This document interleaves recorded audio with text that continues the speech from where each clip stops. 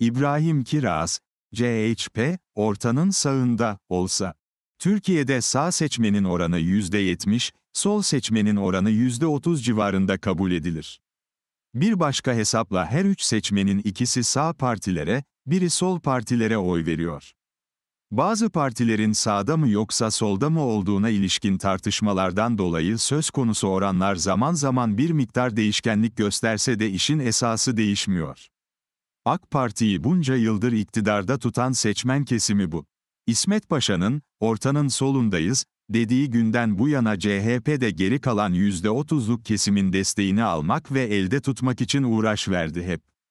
Ana muhalefet partisi ancak son yıllarda bu %30'un fazlasına talip olması gerektiğinin farkına varmış görünüyor.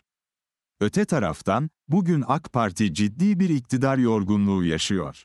Bilhassa tek adam yönetimine geçtikten sonra sergilenen yanlış uygulamalar, isabetsiz kararlar, akıl dışı politikalar, yani özetle kötü yönetim seçmeni kızdırdı. İki ay önce gerçekleşen yerel seçimin ardından ise AK Parti'nin bir dönem daha iktidar olma şansının kalmadığı düşüncesi kamuoyuna hakim oldu.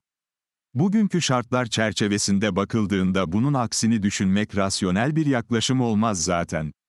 Bir iktidar değişimi ihtimali her zamankinden daha fazla artık. Ancak seçmenin üçte ikisinin sağ partilere oy verme eğilimi taşıdığı bir ülkede iktidar olmanın yolu belli demektir. Sağda bir boşluk oluşması ve bu boşluğun doldurulması gerekir. Kim ne derse desin mevcut iktidarın sağında bir alternatif oluşmadı. Eski AK Partililer, olarak etiketlenen Gelecek ve Deva kadroları eski partilerinin tabanını harekete geçiremediler. Ciddi bir oy potansiyeli yakalamış olan İyi Parti ise tabiri caizse harakiri yaparak kendi kendisini oyundan çekti. Buna karşılık CHP özellikle 2019'dan bu yana hem dilini revize etmesi hem de milliyetçi, muhafazakar seçmenin oy vermekten imtina etmeyeceği profildeki adaylar göstermesi sayesinde sağda oluşmakta olan boşluğa doğru bir hareketlilik içinde. Peki ama ortanın solundaki parti ortanın sağını da kolayca işgal edebilir mi? Evet, CHP son yerel seçimde büyük bir başarıya imza attı. Evet, AK Parti görülmemiş bir hezimet yaşadı. Evet, seçmen her iki partiye de birer mesaj verdi. Birine olumlu, birine olumsuz. Birine ödül, birine ceza. Bunlar doğru. Ancak aşağı yukarı aynı şartlarda yapılmış olan son Cumhurbaşkanlığı seçiminin mesajı da halen geçerliğini kaybetmiş değil.